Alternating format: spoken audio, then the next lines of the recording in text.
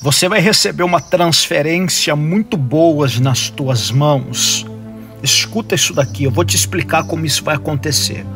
Provérbios 13, 21 diz que a riqueza e o bem, os bens dos ímpios, serão transferidas para a mão daquele que é fiel e que é justo.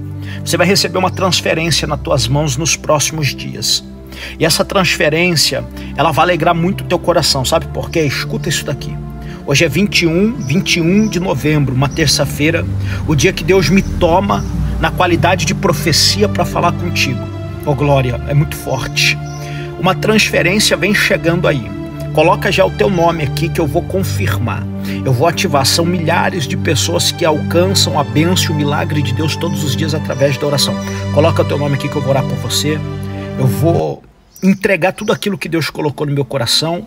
Então não se esqueça de colocar o nome para orar por você, dá o coraçãozinho aqui para ajudar o profeta, se você tem condição, dá um mimo, uma estrela e também um coração para me ajudar.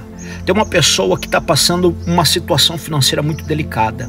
Me revela Deus que essa pessoa ela vive um momento de muita instabilidade financeira. E isso te assusta, porque você não vivia dessa maneira. A tua vida financeira sempre foi muito bem resolvida. Você sempre caminhou muito tranquilamente. Mas de uns tempos para cá a história mudou, o sapato apertou e você está preocupada. Só que o Senhor manda eu te dizer e te lembrar que Ele é o dono do ouro e dono da prata. Ageu capítulo 2, versículo 6, meu é o ouro, minha é a prata. Eu sou o dono do recurso. O Senhor manda eu te lembrar aquilo que está no Evangelho de Jesus, segundo escreveu São Mateus.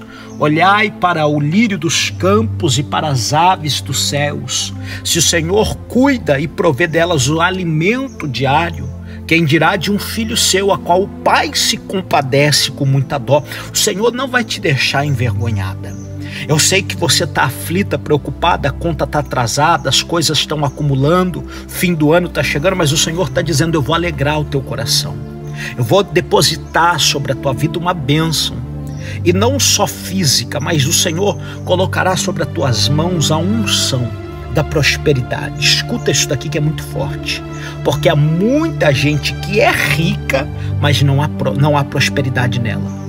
Mas aquele que alcança prosperidade em algum momento da tua trajetória, ele vai cruzar, ele vai se deparar, ele vai se encontrar com a riqueza e você vai ser uma dessas pessoas, a qual o Senhor vai te abençoar tanto, a qual o Senhor vai transferir para a tua mão um poder financeiro tão grande que você vai poder ajudar aqueles que estão ao teu redor, diz o Senhor, toma posse.